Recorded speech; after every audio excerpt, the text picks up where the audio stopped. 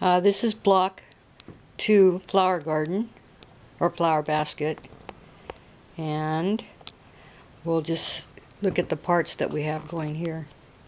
We're going to have five three and a half inch squares of one color. Here's the five squares here. Okay, we're going to have one red three and a half inch square. The rest are all triangles.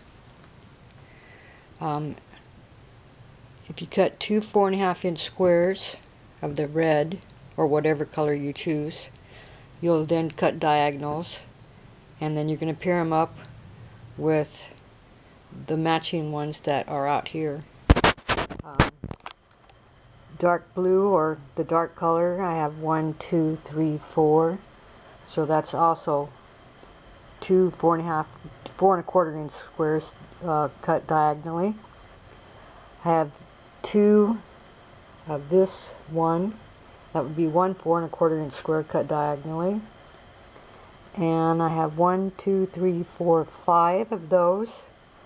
And that would be you have to cut three four and a quarter inch squares and you'll have uh, leftovers. As you see I have my leftovers over here they will be incorporated in other blocks so keep your scraps so once you get all your squares put together, lay them out like this. And what we're going to do is what we did before. We're going to sew the triangles together.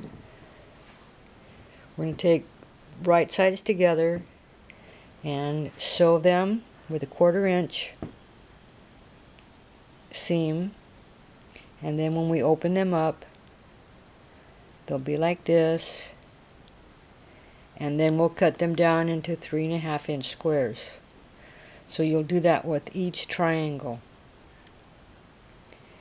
Then once you get all your triangles sewn together and trimmed down to three and a half inches they should be the same size as these.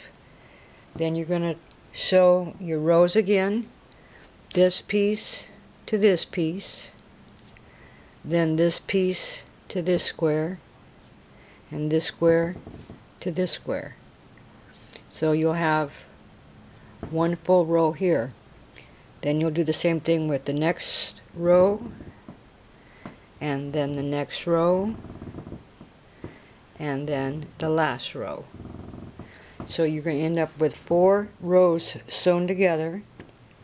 Then you're going to sew this row to this row, and then this row to this row.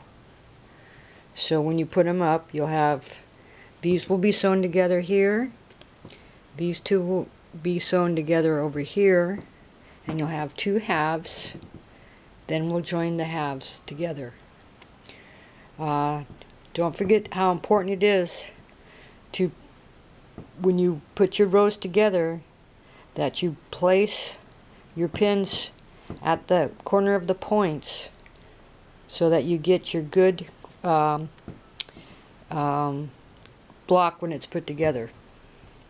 So anyway, this is block two and it's called Flower Garden. It's a few more triangles than the other one, but it should still, especially since after the first one you've learned how to put your triangles together, this one should go to bit together a little bit quicker. And once again, the colors are of your choice. Um, try to repeat some of the same colors that you used in the previous block, adding maybe one or two different colors.